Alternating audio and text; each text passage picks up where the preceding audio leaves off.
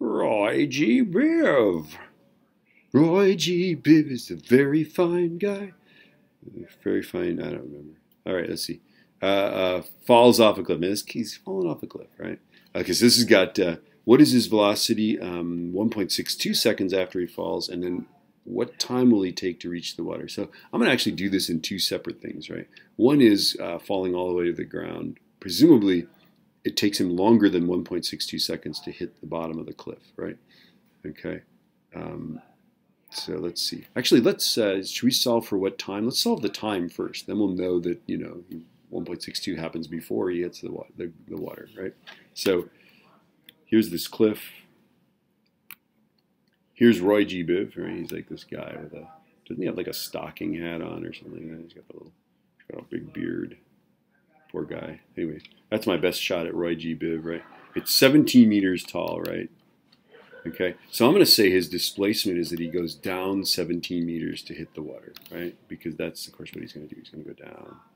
And then that's water, because we can't have Roy G. Biv like go splat on the ground, right? I'm going to say his initial velocity is zero. I'm going to say that this is negative 9.8, right? And then the question is, uh, uh, it? Oh, time, just time. We just so we want to use no VF. Do we have something that's no VF?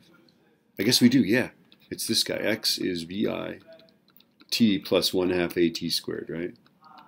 Okay, so uh, uh, let's see, negative 17 is 0 plus 1 half negative 9.8 times t squared, right? So negative 17 equals negative 4.9 squared.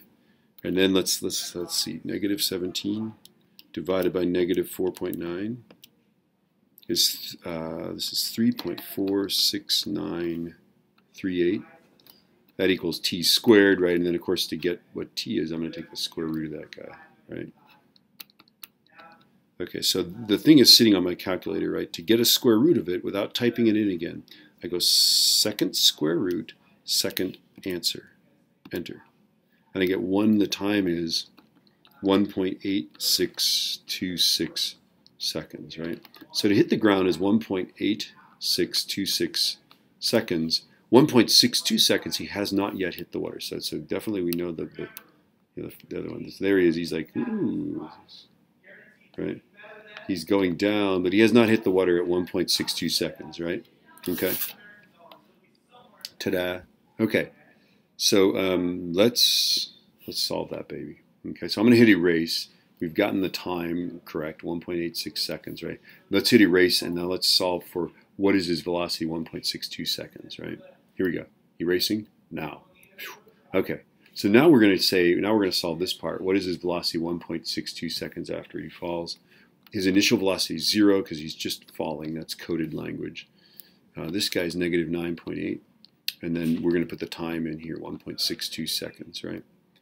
Um, and then we just want final velocity, so I'm going to use no x, which is this guy, VF, is VI plus AT right? So let's see, this guy's not zero. This is what we're trying to find. And then that equals, this guy is zero, plus negative 9.8, right?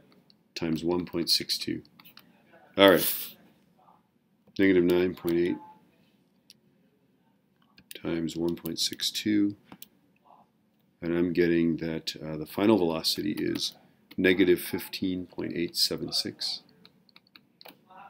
meters per second, right? Now with three sig figs or three digits, right, we'd say negative 15.9. Ta-da. Yeah, which is what we get. That's our answer. Look at that. Hopefully that's the right answer. It is.